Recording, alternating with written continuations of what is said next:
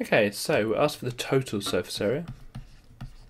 Now, the total surface area is the curved surface area plus the circle at the bottom,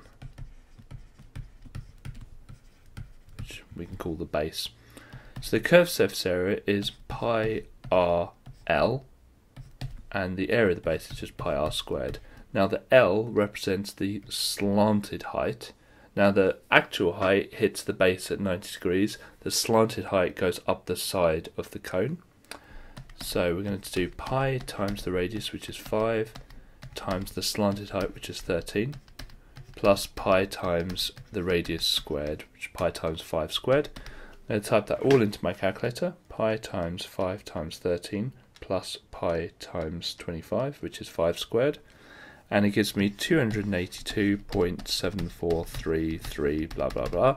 So to two decimal places, that's 282.74 centimeters squared.